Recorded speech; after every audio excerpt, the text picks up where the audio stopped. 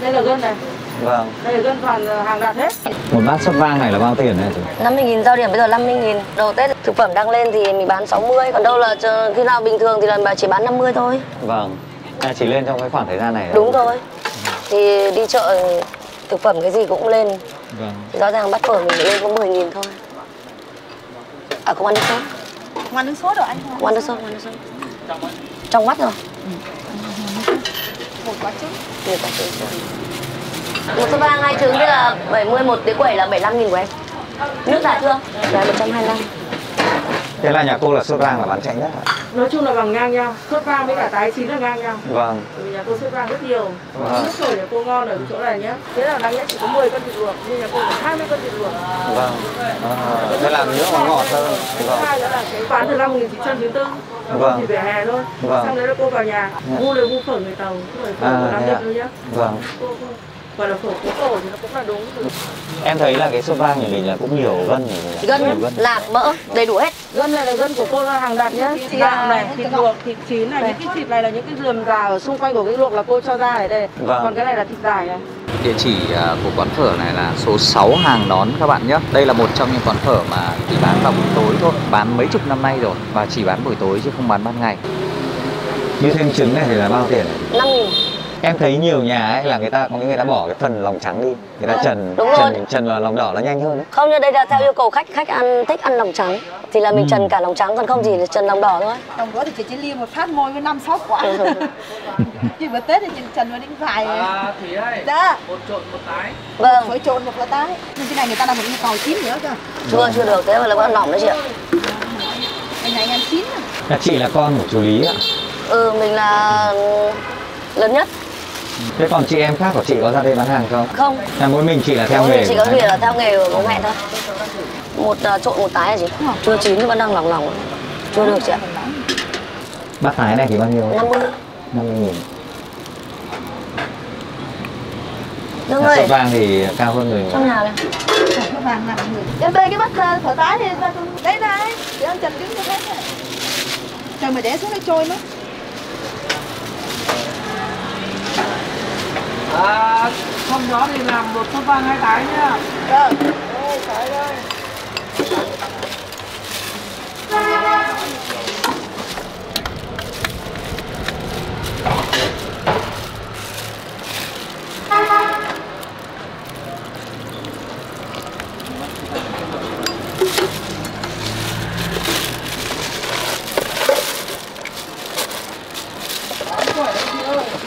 Là phở trộn phở trộn có lạc hành Vâng. và xì dầu Dạ. trời lạnh là ít người ăn trộn chứ mùa hè là đông lắm nên làm trộn suốt rồi Cái sốt này là bao nhiêu tiền đây chị? cũng 50 chưa bây giờ là gì hai thái một chốt à? Tái một chút Em một phở sốt vàng Một phở sốt vang Ăn quấy không? Ờ, phở sốt vàng phở gì thế nào? Tái chín sốt vang nặng gầu phở trộn Hả? Một bát thịt không? một số vàng một thập cẩm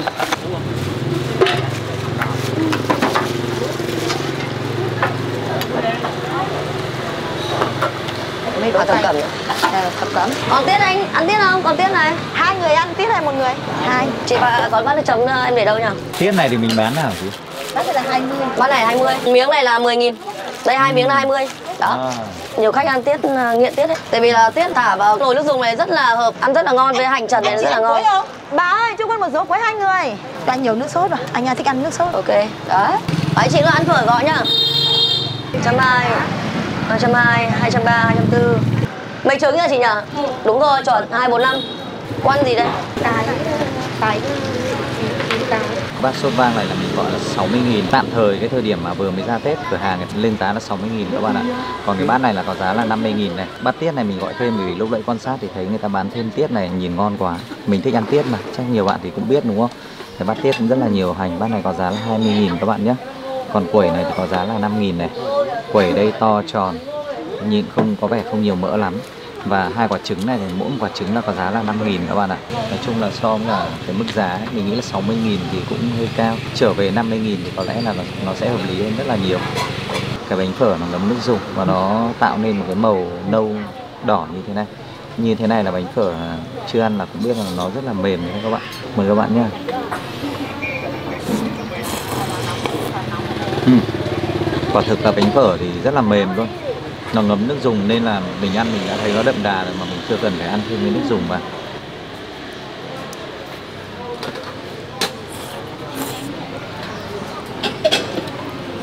Đấy, rất mềm các bạn này. Lúc ấy mình có dừng lại một chút mình chụp hình thì bánh phở này có phần cảm giác như là nó mềm hơn rồi gắp lên thậm chí là nó có rụng luôn này các bạn. Ăn rất là mềm. Đây là cái miếng sốt vang này các bạn. Mời các bạn nha ăn cái phần thịt sốt vang nó rất là mềm các bạn. Còn ba miếng miếng nào cũng là miếng gân thôi. Mình muốn cho các bạn xem là cái miếng mà nó có nhiều cái thịt nạc ấy.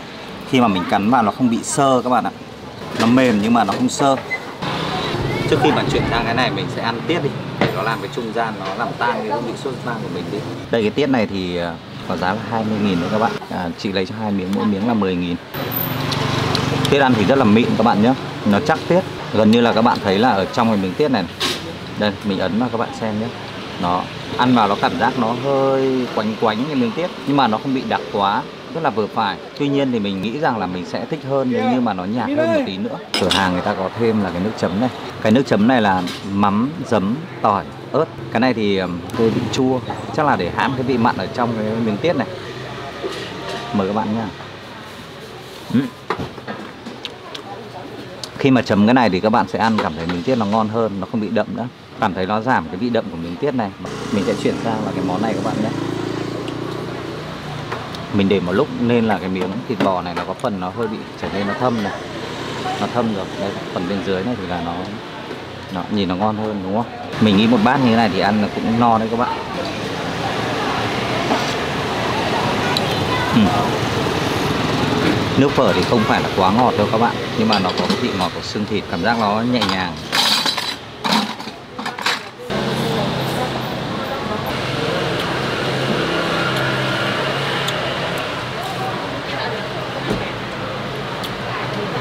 Quẩy đây rất là thơm.